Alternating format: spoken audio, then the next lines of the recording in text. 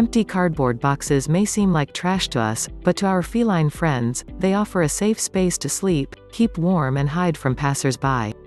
It's no wonder cats love to play in boxes, then, which offer them safety and security from the outside world.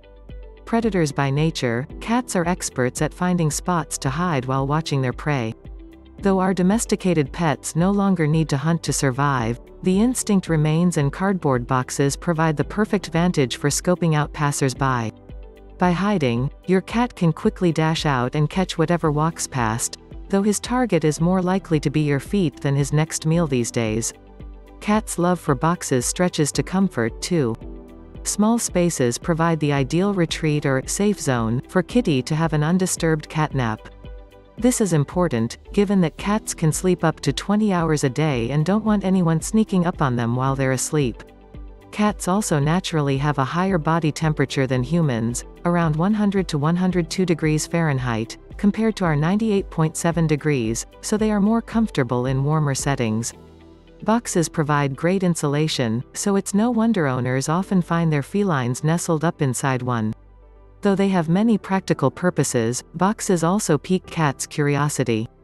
Inquisitive by nature, your pet can't resist exploring any new object left in his home.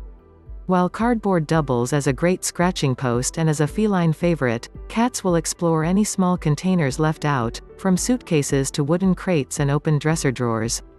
Because they offer safety and security, boxes can help put nervous pets at ease.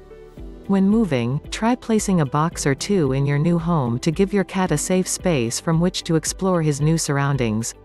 When introducing a new pet to the household, or if you're away for long periods of time, leave an empty box out to help calm your cat. A report published in Applied Animal Behavior Science Backs claims that boxes help relieve stress.